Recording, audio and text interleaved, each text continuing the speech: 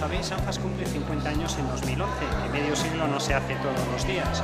Entonces hemos organizado una serie de actos a lo largo de todo el año y uno muy especial de la mano de Pablo Zalba, euro, europarlamentario navarro del Partido Popular, pues, eh, nos invitó a que 20 personas de ANFAS acudiésemos a visitar el Parlamento Europeo en, en Bruselas.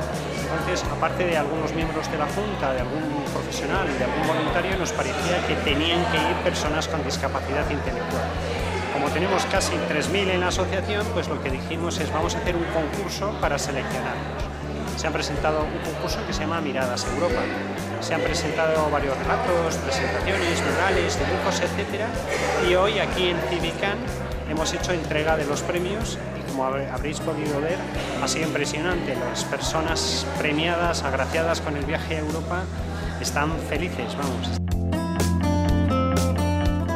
Esto es, yo creo, la iniciativa más bonita que he hecho desde que soy eurodiputado. La idea surgió un poco de casualidad, surgió de una persona que me dijo, ¿por qué no invitas a ANFAS y ya lo que me decidió a invitarles sin ninguna duda fue que este año celebran su 50 aniversario. Yo creo que todos estamos en deuda con ANFAS y yo humildemente voy a intentar tratar de saldar de una manera muy pequeña esa, esa deuda invitándoles a visitar el Parlamento Europeo la próxima primavera. La verdad que ha sido un acto precioso, yo creo que todos hemos disfrutado un montón, yo creo que más de uno se nos ha caído alguna lágrima y yo ya estoy deseando que lleguen al Parlamento Europeo, estoy seguro que va a ser la, la visita y el momento más entrañable seguramente de toda la legislatura.